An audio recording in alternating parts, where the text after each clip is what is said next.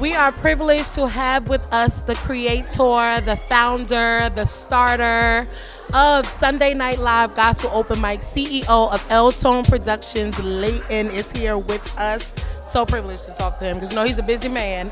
He took some time out to talk to us tonight. So talk to us a little bit about why you started Sunday Night Live. Uh, Sunday Night Live was created because there's not a lot of places that offer things for people like us, people that go to church. People that go to church is either you go to church or you go home. And or eat. or eat.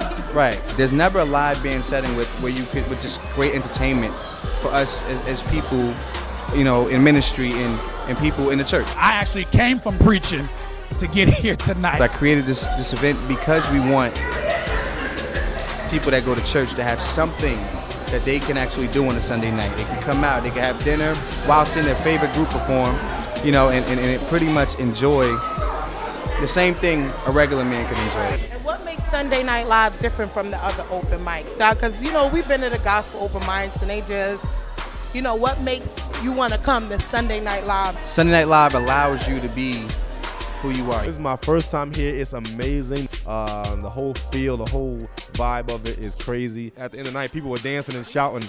We had church in here. Y'all definitely got me on the team to kind of put it out there and blast it every time you guys are having something. I think what we have and what we're doing, I think the world needs to see it.